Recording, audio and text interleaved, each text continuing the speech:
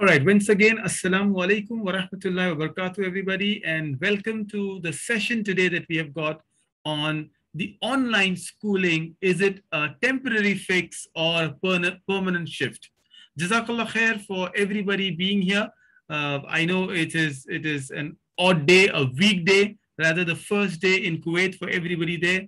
And I really feel so good that alhamdulillah you all have joined in you all have made an effort to make sure to understand this whole phenomena that is the online education we're talking about.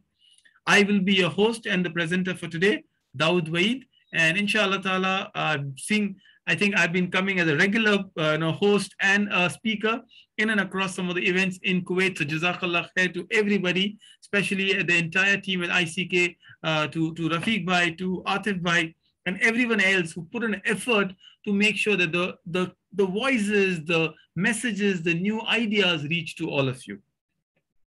This being a very small introductory session, I'll make it very light. It will be small, half an hour of conversation followed by your question and answers, and then what is in its store for you today. The idea of this whole presentation came from my conversation with Atif Bhai some time back saying, where is the shift happening in education? A lot of us, including me as a parent, eh, one thing that we realize is education has shifted for sure. Good or bad, it is us to decide. Now, is it is it something that we are looking forward to? The opening of the school, what is the concerns? And subhanAllah, today was the Teachers' Day as is celebrated in India. You know, the uh, the the birth anniversary of a second president of India, Dr. Sarvepalli Radhakrishnan. And very strangely, it was a very, very different kind of teachers training. A lot of teachers that are part of Golden Sparrow, the organization I run and about which I will share with you in some time, I had never met, and some I've still not met. Some are in different cities, some are doing some amazing work, but the only connection we've got is the fact that we all are just teaching and part of one team, and that is online such a strange world.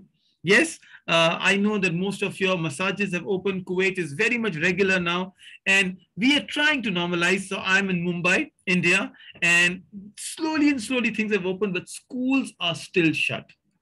And this is an indication that one of the things that I've really learned is despite the fact that schools are not working, education has not stopped. You know, when the pandemic started, it was a month, two months and we realized okay once you know three months later the school will start. It was very early on for the academic year to understand the implication. It was also late towards the year end so we all said okay let's close the school for this year and then we'll open it next year. And an entire academic year went. The next one has come in and we're still waiting some of us are not even realizing that this could be the norm, stop gag. You know, one new variant comes in, and India, we have got this Delta variant come in. Suddenly, the schools close again. I would never, ever risk the health of my child over anything that is physical in terms of school. So, what is that we're talking about? As much as I say that, in between the beautiful moments we got, we had some great moments over coffee, over football, and that is where I love to start with. So this is my team of teachers, my students out there. Look at these boys, mashallah, who are appearing in the grade 10 this year at Golden Sparrow. So we had some great time. And this is a photo of from just last week that we met over a beautiful coffee shop. These are 10th graders and they've never met. Some of them have not met each other as a school group. So when I had the opportunity to have a little coffee with them, I am taking a selfie mashallah, yes, I look like a student there. Yes, alhamdulillah. You know, sometimes it's important to give yourself compliment, right? I'm doing a marriage workshop later this week, and you'll get to know more about that. But the idea was these students are appearing for the 10th grade. And somewhere I realized the two most affected group in the pandemic are the senior group the 10th graders and these group i call them the you know the early schoolers the first steps to school the pre-primary and the primary who have never seen an inside of a school. I've got so many students in grade 1 at golden sparrow for whom an entire concept of school is a zoom meeting. They don't know what school is because they've never stepped inside the premise called a school building. But yes this has been always welcome. No wonder when there was opportunity, as you see all my wonderful boys and girls in beautiful jerseys practicing. This is the sports that we've opened up. And alhamdulillah, it's more relaxing to see that the kids are meeting in an open environment. You know, it's not a closed school door. They still have a lot of, you can still see a lot of, you know, it's very difficult to have a social distance in a football match, but at least when there's training and practice, there's social distancing happening. And this is what I think of a school. This is the future, and hopefully you will get some answers as I seek mine. What is the future of education? Schools are great alhamdulillah, you know, all of us have been part of schools. You are part of a school. I have been through schools and I think we've come out good, isn't it? MashaAllah, the fact that you all have good careers, you are entrepreneurs, or you are into, into great companies as, as working, you all have done well. But unfortunately, it could be the same route that these companies on your screen have taken that schools are taking today. Nokia, I remember I started my career from Chennai, then I moved to Dubai, and the only phones we perhaps had were Nokia's and Motorola's. You know, it wasn't the iPhones. The BlackBerry did come in, but where are we talking about? If you use a Nokia, as if people look at you, and I'm sorry if you know, I know Nokia is like the, now the Google phone is also Nokia, but if you use a Nokia still, in at least in the areas I know of, people look at it the same way you say your email address is so Atif Sayed at hotmail.com or Dawood Waid at hotmail.com. Say, hotmail.com? How old are you seriously? Where are these organizations? Blackberry, there was a joy. Blackberry was the WhatsApp of, of the rich men, is what I would keep saying. If you had a Blackberry messenger, you were communicating, you were talking to people. I don't see anybody use Blackberry. Do you?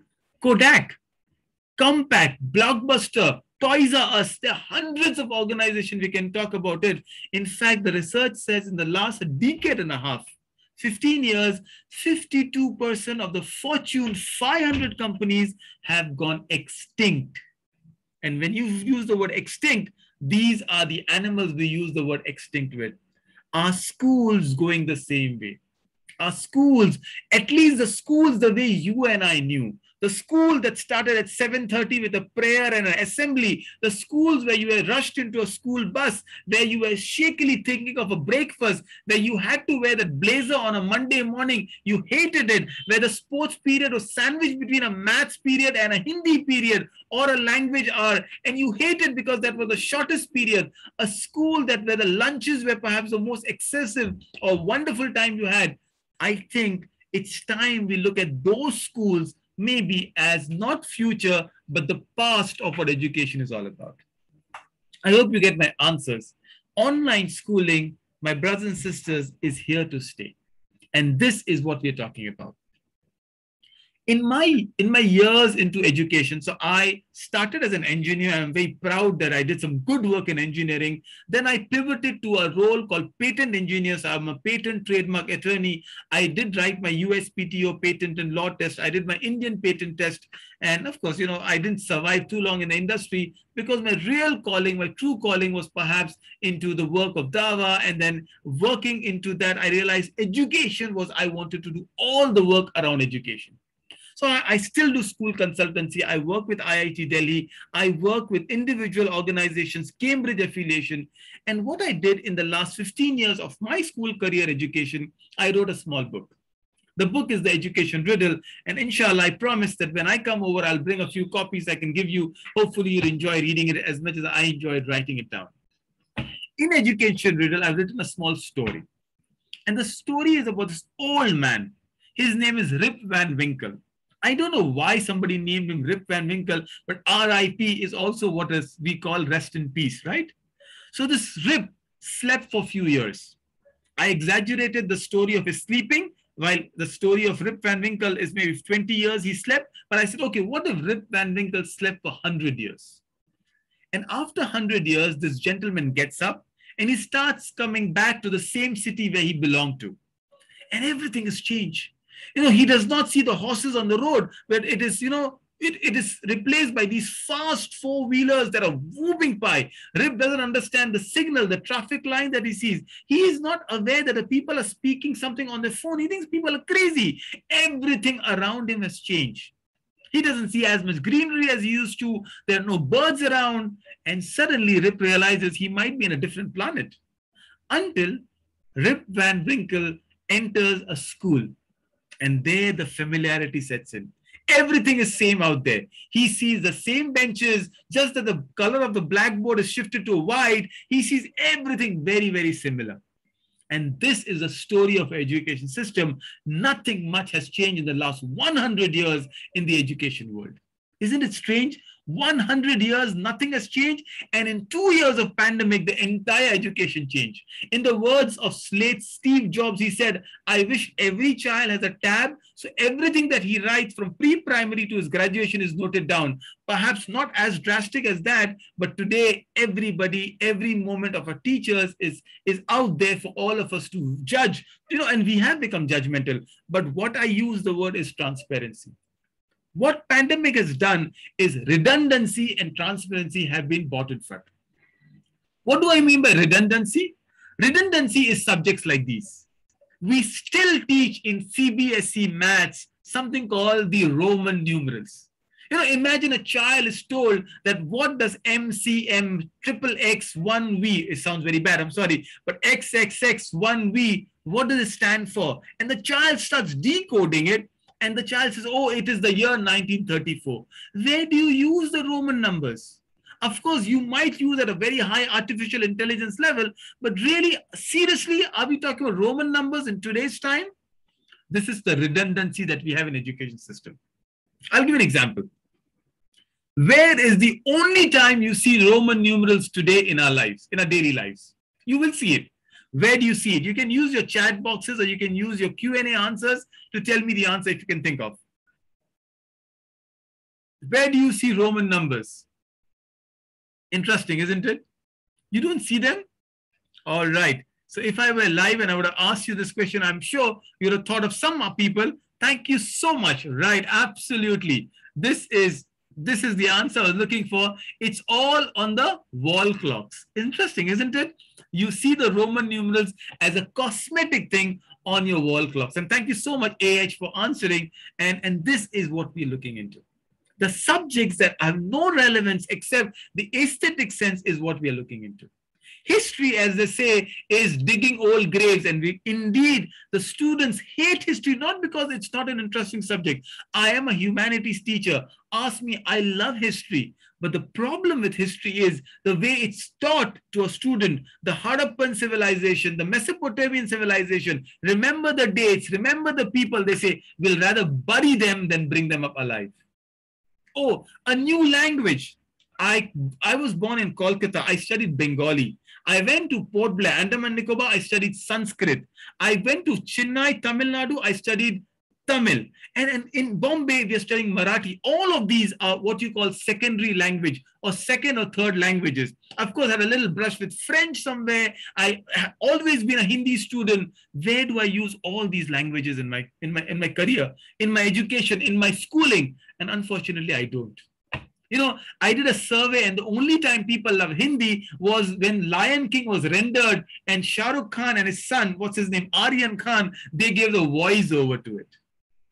Trust me, the way we are teaching a subject to a child, the child hates a subject. Some of you have studied Sanskrit, or some of you have studied Arabic, some of you have studied French for 10 years, and you know your language as good as I do. We have never explored. The joy of learning a language has been reduced to mere collection of marks. You know, I have a friend in a college called New College in Chennai, and the only reason they take up Arabic as a language is because you have to copy the paper in your answer sheet, and you know that the teacher will be saying, Oh, he is, you know, mashallah, good community boy, will at least make sure he gets 35, which is the minimum passing marks. Sad, isn't it? What has happened is schools had become redundant and pandemic brought a fresh wave of change. Teachers were saying oh me and technology are you serious? And look at what has happened. The world has come online. Everybody is using you know there a lot of rumors about zoom but of course they were unfounded. Zoom is the only time i say don't use zoom is when you're sharing submarine secrets of your national interest. And i'm sure we're not doing that you know, the idea that has evolved in the pandemic, trust me, has challenged the way we looked at schools. Yet, after saying all of these, why do schools still exist? schools exist for primarily few reasons. And I listed a few of them among the many I could think of, but some really interesting ones, some funny ones, some sarcastic ones, but I'll just tell you that. A real reason the school exists is the board exams you know, IGCSE, IB, CBSE, state boards, any Cambridge curriculum, British curriculum, Canadian curriculum, all of them ultimately boils down, EdExcel, all of them boils down to one little feature, what happens at the grade 10 level? What is the certificate valid about? And this dependency on a board has stopped us from thinking of alternatives. My brothers and sisters, the boards that we look at is only a milestone, not a destination. Let me repeat what I'm saying. The boards are a milestone, not a destination. And unfortunately, this is one little concept we have not understood, we have not talking about. Number two is the alternatives. All right, okay, I don't want to, you know, go to a school. So do I homeschool? And I say, no, you know, when I decided to pull my daughters out of school, a very reputed school, Delhi Public World School, DPSs are a big chain of schools across in the Gulf also. Everybody like, oh, is this this is the school. You stand in queue to get admission in the school and you want to take them away? And I went and I told my wife, Um Safia, I said, come on, all the daughters, we are coming out of school. And she said, you better not put them as homeschoolers. And like, he said, You will go away to work, you will travel around, and at the end of the day, as a mother, I have to raise them up. And this was a very hard hitting, truthful statement that a wife could tell a husband. And what are the alternatives then? We'll talk about that. So the idea was we are not going to schools, but we are also not homeschooling either. And especially, I am not a very pro homeschooler in one perspective. Is sometimes as parents, when you be, try to become the teacher, you also become the guardian, you also become the mentor, the career advisor. The child do not have the window to explore and the child do not understand the ideas what they want to talk about. And this is one area we decided we need real teachers. You know maybe it's good to teach a child at grade one two three level classes grades when they're seven eight nine years. But what about science? What about business studies? What about subjects like mathematics at say grade seven eight nine ten? And that is why we'll bring something very interesting Oh, of course, I just picked this up from a very popular movie called The Three Idiots, where we say that the peer pressure, what will our neighbors tell us? Mr. Kapoor, what will he tell us? You know, when you don't go to a mainstream program, everybody's like, okay, that's not good. And then finally, we all are some board students. You know, despite staying in a Gulf country, we all have done uh, our education, perhaps from a standard CBSE or an IGCSE curriculum, a school that gives us comfort. We want to go to the comfortable level. And then despite 90% of parents asking me this question, have never, the children have not cracked, I'm not saying they're not good, but they've not cracked the IIT JEE exam. They say, oh, what about the IIT JEE? What about the NEET exam? And today I see so many proud boys and girls doing good at NEET, that is a medical exam, and they think these boards are the only boards, especially the CBSE board, can help them go and crack those exams, which is a myth, very unfound. So all of these, where does it lead to? It leads to a very interesting story. So I was debating this few years back, let's call it four years back or three years back before the pandemic, a year before the pandemic. And you see the date out there, 29, 2019. And as I was exploring, I spoke about this movie Three Idiot and Taare Zameen Par and some amazing, amazing, you know, you know, myth-shattering movies that made a lot of sense when you saw them and you said, okay, I think the education system needs an uphaul, but what, where do we start with? And in this in this beautiful movie called Three, which the scholars have recommended to watch, which is interesting, there is a character that this actor plays, Aamir Khan, called Phunsukh Wangdu. I don't know who the real Phunsukh Wangdu was until I researched on it. And I found out there is a gentleman who is in Leh, Ladakh. He runs a very unconventional school. And I'm like, wow, that would be amazing. And subhanAllah, when your intentions are sincere, Allah Azza and there's no co coincidence, there is something called qadar, destiny.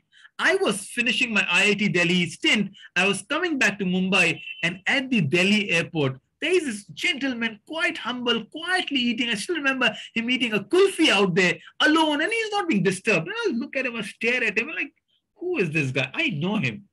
And then I realized he's the original Sonam Wangchuk, on whose name, on whose personality was the entire character based on.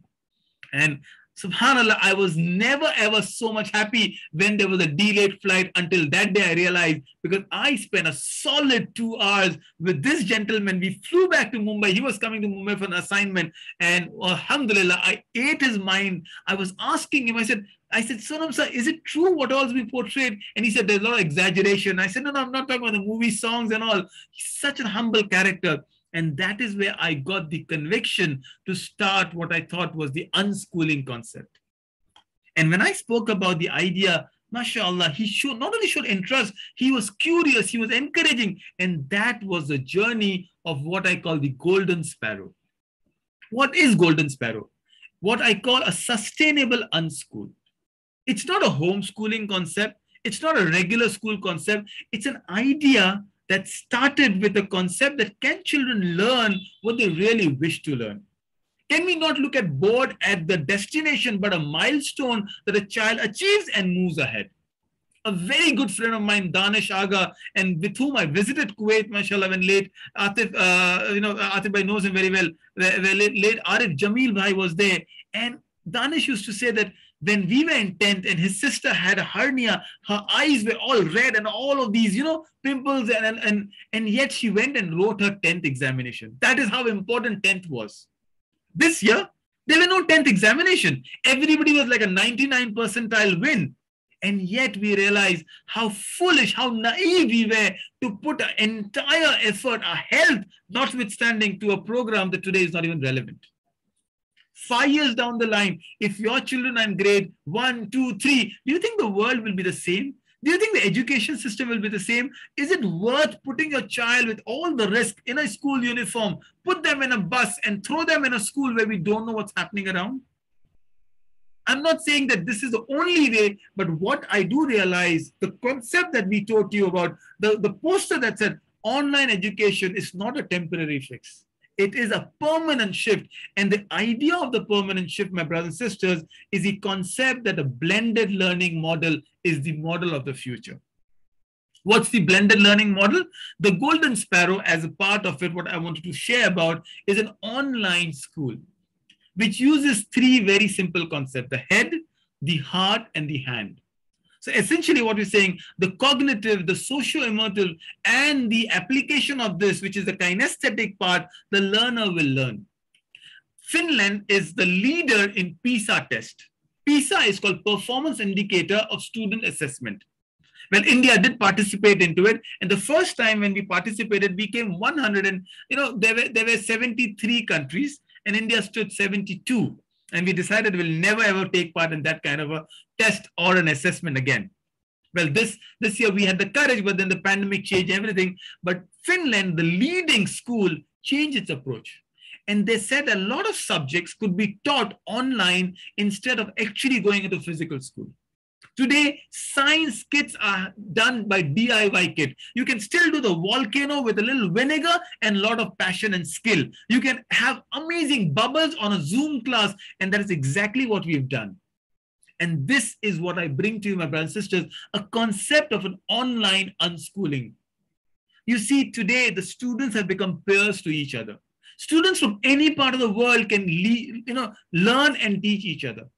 Yet it is a very structured learning. Unlike an homeschooling concept, it is a proper timetable based learning program. And in the last two years, or rather 18 months to be precise, as I have been heading the Golden Sparrow, I realized students have learned far more effectively than they would learn otherwise in a school. I didn't say the schools are bad. I'm saying schools need a change now. Even when the schools start, I recommend a concept of blended learning. Why? As I said, today was the Teachers' Day. I met some of the teachers for the first time today, and I realized even when a school starts, I would, don't want to lose some of the best teachers who are coming and teaching my children just because they're far away geographically. It could be Shabana ma'am teaching business studies or Alfia ma'am teaching English or SDG. It could be Shazia ma'am teaching science. There's so many amazing people. And just because they're not physically here doesn't mean my children should be deprived of it the idea of hybrid model exists now. And what do I mean by hybrid model? The children must be formed into small hubs. A hub is an area that they do the academics online in the mornings, and then the evenings are free to do sports, go to a library, meet your friends in the garden. The fact that you can do that today at the comfort of your home is a joy of a pandemic. Many things have happened in pandemic. Some of us, or rather all of us, have been affected either personally or through a loss. But yet, you know, they say in every shar there is khair. And the khair we search into it, the good we search into it, is our education has become transparent. Our teachers who were all hiding behind the school walls, whose pronunciation was not good, who, whose subject matter expertise were not good, today it was all exposed because today nobody can hide. Your teachers have to teach on the screen, and the parents have become the judge of how good a teacher is. I ask you not to judge very harshly, but give your teachers an opportunity. But this is what I bring to you. One of the things we do in Golden Sparrow is add a concept called sustainable goals, the SDGs. And I'll talk a little bit about each of them as we go ahead and open the floor to some of your question and answers so that we have some fun. I promise a half and half conversation. And here is the last part of what we're doing. So today, the new model, my brothers and sisters, that I'm, I'm, I'm suggesting to you in the in the in the post-pandemic era, the education of the future is this. It comprises of subjects that your student, that your child, your ward will never otherwise learn. The first one being entrepreneurship and environment. I call it the model head. Simple idea, there's some questions raised. Inshallah, please post your questions and I will answer them. So use your chat as you talk about it and I will share the ideas that we have explored, the, the concept we brought in. MashaAllah, students have become business savvy with our Entrepreneurship 101 course. Teachers from across the world have come. There was a business case study online and people have come in and given the idea. Alhamdulillah, they are, you know, they are doing the arts very well. So you're using your creativity, which is your right brain, and business model, which is your left brain, and they are coming together. There is people have done more arts online because teachers have been passionate. Of course, a parent had to do effort, bring in, there's a lot of things mess around, but the fun, the joy of it has been tremendous. This is the model we're talking about. This is the idea of what a head could be. Some of the books that we use, there's an entire life skill curriculum that is being used. Life skill is far more important today than even teaching a subject like a language for children. There's a lovely uh, TED talk by Angela Duckworth who says, a researcher, she says, one of the best things you can teach your children is called grit. Grit is the ability of not giving up. And that is what life skill is about. Today, there are cases of people giving up their lives, giving up a job, you know, just giving it up because of a small minor obstacle or a hindrance. Our children are far better in character than the small things that stop them. And this is what a head model entails. Mashallah, there is a beautiful book called The Boy Who Harnessed with the Wind or Harness the Wind. It's a movie on the Netflix. It's a movie which is a part of the curriculum in Golden Sparrow. The children are learning about wind energy, which is nothing but a subject in science, but also a subject in conservation and environment. And this is what they learn as they go ahead. The next area is what we call the heart. The heart is anything that is emotional. Your language programs are part of heart. Communication, storytelling. There is an entire public speaking lecture once a week and a reading program. A teacher reads a story to the younger one, and trust me, it has created so much of wonderful areas. You know, if you ask me one thing that has happened in the pandemic, I always encourage people to read. If you have not read in the last 18 months of pandemic, it's not a lack of time now, but it's a lack of willpower. Now, I can't push you to read so much, but I'm sure I can make my children read. And alhamdulillah, they have become readers.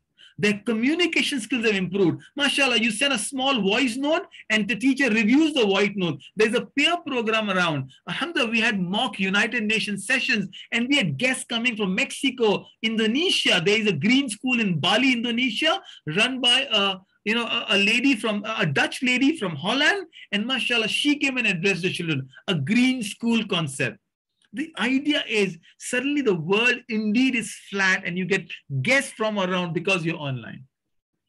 This is the SDG program that we run, and we've done so many amazing things. And mashallah, not only that, every time there's an occasion, even if not physically, students have showed the pictures wherever the families have existed together, they meet, they huddle up. And mashallah, one of the SDGs that we had our school students, families coming together was the SDG goal number five called gender equality so much of fun that we had that mashallah families became together because there's a school project to call your relatives across so there is a theater drama, public speaking, reading are such a joy that the whole school is reverberating with this kind of ideas. Finally, finally is the hand zone. What am I talking about the hand zone? The hand zone is the maker's zone. It, it could be science experiment, technology integration, exploration, discovery. There is a computer hour where students are learning concepts as scratch as simple as making a presentation on Canva, because that is what making their own LinkedIn profiles for those who are 9th and 10th and 13 years and above.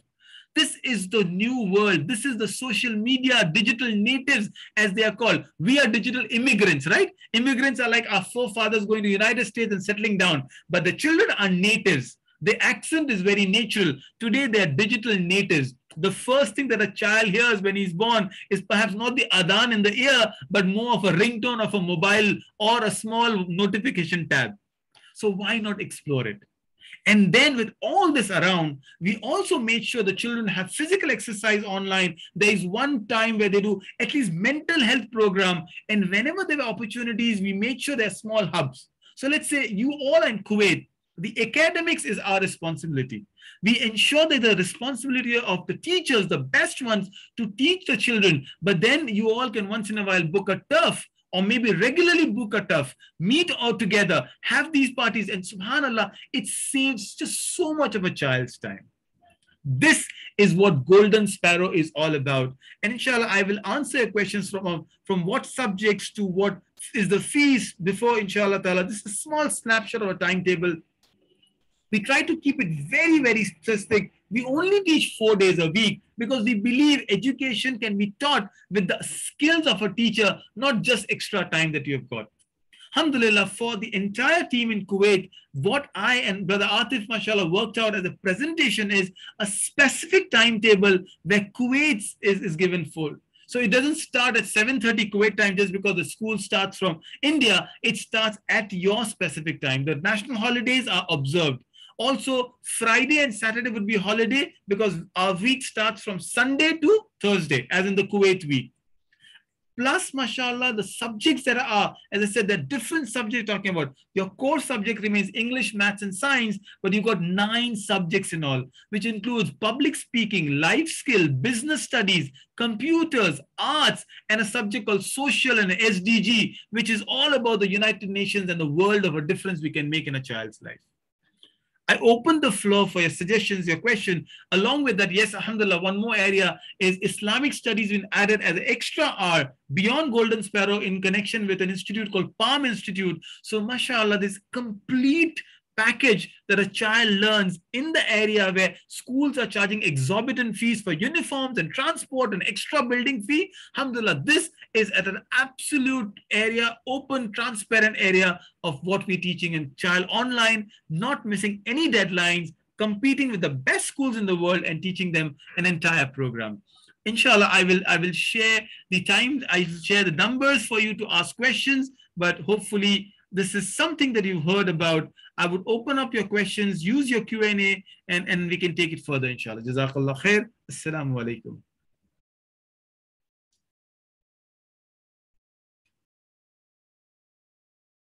Right. I, I think I'm, uh, I will also share the my number and brother Atif's number most of you have, but I will just put on. So you can just WhatsApp me. I'll just share the number right now and the email address for you to just drop in a message. If this is an area, a school that you're interested in, we are trying to create a group of students in Kuwait and add these subjects across. Mashallah, I think some of you just got your jab right now. So I will I will take up a question and we'll take it forward. Uh, the academic year, Jazakallah for the question. The academic year has started from 1st of September in most of the schools in Gulf. We are intending to start from 15th of September, inshallah, or, or you know, just a couple of days plus or minus, but that's the idea to build up an entire team of Kuwait and then we start the academic year. All right, a, a, very valid question about sports and physical activities in Kuwait. The idea is, as a city, as a city, we take responsibility of entire academics. So, subhanAllah, your academic starts, let's say, at nine o'clock in the morning, finishes at one o'clock, and you're done. The, you, you see the child's progress, and then to in the evening, this is what I say, you become a small hub where you take your child for a turf or join a standard academic academy which teaches football and that is what we have done out here so you know the only thing we don't add is a football and my daughter says the only thing you can't play online is football but alhamdulillah we do some physical exercises but football you can there's so much of time left that's the whole idea of, of an online school uh, what age do i recommend honestly today seeing the pandemic I would always say a child who's mature enough to handle a computer should go to an online school or can offer an online school. But but today I realize every child, even a three-year-old, can handle a mobile phone. But having said that, but it's a very very honest question, brother. Uh, I will I will just let you know. Today the demand for pre-primary online school have increased, and why is that? Not that I endorse nurseries, and we don't have a nursery, but we had to start a junior KG and a senior KG, much against my will. I said, why would a child do that?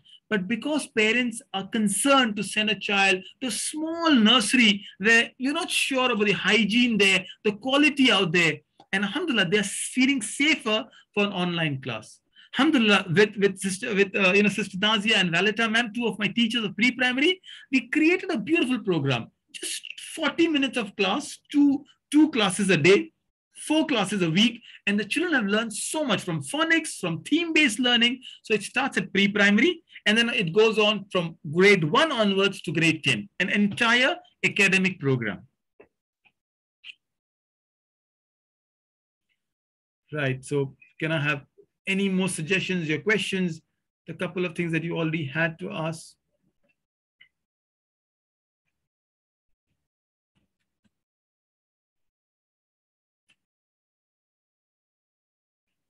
All right, a very valid question that uh, you are asking, and, and most of you have it, is, is the fee of the school.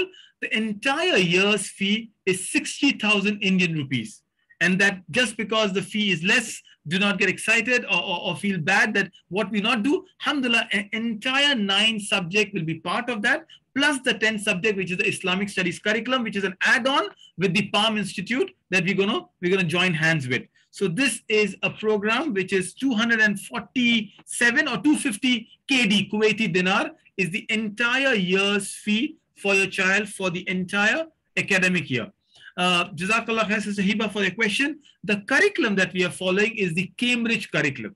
So, be, you know, as I said, one of the things, one of the criteria that we had is we wanted to follow an international curriculum. So yes, alhamdulillah, it's an internationally recognized Cambridge, University of Cambridge. So when I say the fee, this fee also includes all the books, the e-books that will be given. So the entire books, Jazakallah, uh, I think that's the answer I've answered about the uh, books. The e-books will be given. If you want the physical book, they're all available from the vendors in Gulf, mashallah, so you can go ahead. But we strongly say that we will take care of every single fee, including the books in this, including assessments and the report cards that you get from this.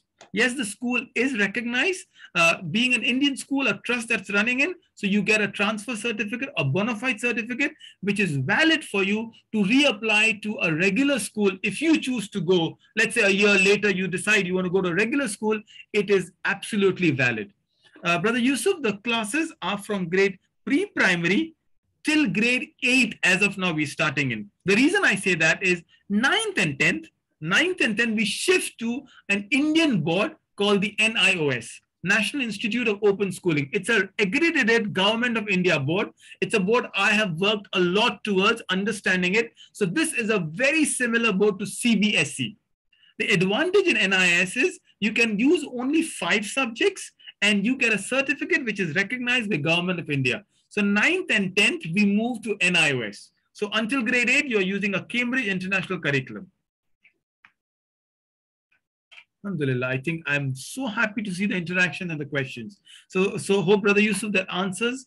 It is till grade 10, but till grade 8 we use the international cb uh, IG, uh, which is the cambridge curriculum and then we move to nios by the way nios is a board which not only is valid in India, it's valid across international, anywhere where CBSE board is, and it is also having a center in Kuwait. So let's say a child wants to write an NIOS exam this year. I've got 15 students writing my grade 10 this year, and subhanAllah, four of them are Hafiz of Quran. So, so this is a board which is also accepted and has a center in Kuwait. You don't have to come to India to write the exam. You can very well write it down. Uh, yes, they can switch to O levels or A levels. In fact, one of the child have done it. No, you will not have to drop a grade because we follow the same British curriculum. And if you know the A levels or the AS levels, as you say, the 11th and the 12th, very much, mashallah, the child is developed analytically. The child has the same skills that a Cambridge A level has, so they can always switch over, alhamdulillah. In fact, one of the students did switch over and very gracefully they were doing perfectly well, alhamdulillah, in the IGCSE and then the later A levels. I'll still bring over the, the uh, screen, which has the mobile number. Just drop a WhatsApp so I can also share Brother Atif's number. Most of you know him, alhamdulillah. If you don't know him, you're not really living in Kuwait, right? You should know him. So, mashallah, he is the he is the ambassador of the school in Kuwait, and you can ask him reaching out, or else you can just WhatsApp me and I'll share his number as well. Uh, yes, inshallah ta'ala, among the things that we'll be adding on for the Islamic studies curriculum or the faith-based curriculum is the act of, you know, health, tajweed, and Islamic studies. Hopefully, uh, the only thing we have not added right now is Arabic as a language, but inshallah, we would we intend to do that because it's a part of a third party we're adding on. Golden Sparrow is a complete academic program. We inshallah ensure that the child is academically as well as some of you asked with a British curriculum, uh, with A levels, they can switch over from one school, they can take a transfer and we can take it forward. Inshallah ta'ala, we will maybe open up a Friday or a Saturday where we'll add up the Quran Hifz program, the, the, uh, the Tajweed program at a younger level where they're learning, and inshallah the Islamic studies. And in Islamic studies, we've identified areas like Sira studies or Islamic history as a special courses that we'll be doing for the child regularly, inshallah. So there we are, brothers and sisters. Jazakallah khair for your patience and your time. And barakallah feek for your kind message, brother AH. Uh, this is so nice, alhamdulillah, to have you here. I wish you create a small group, ask me questions, send me your personal uh, you know, queries if you have anything that I missed out on. MashaAllah, I've been running Golden Sparrow for the last 18 months. And when I say that, alhamdulillah, I, I you know, what I preach, I practice. My all my daughters, I'm, I'm proud father of three daughters. All of them, mashallah, are part of this golden sparrow. My eldest, Safiya, has memorized the Quran and she's in grade 10, alhamdulillah. And I'm very happy. She's taken a subject, includes that business studies. She wanted to opt out of math, so that's an option we have. So she's opted out, but she's taken business studies. She has she has science into it, and there are many combinations you can use. There's a subject called entrepreneurship, sociology, psychology, besides the regular subjects. The students have appeared for NEET exams after writing the NIOS boards, and they have done very well. So I, I do hope to see a good batch coming in. Think of the avenues that a child can go through. Think of the wonderful opportunities you're giving to a child because you see the teachers we ensure that 1 is to 12 student teacher ratio is maintained. Some of the best teachers, and we'll have teachers from across genres, across faith, as child's exposure would be there. New students will come in, inshallah. And that is an invitation to all of you to explore what Golden Sparrow can do. Jazakallah khair, everybody, for all your time. And hopefully, we can take the conversation forward beyond that, inshallah, on the WhatsApps and the messages that you have got. Uh, I must thank Brother Atif, who's just got his vaccination today. So I hope he's doing well. And may Allah subhanahu wa ta'ala give all of you good health and keep you all safe wherever you are. Assalamu alaikum wa rahmatullahi wa barakatuh.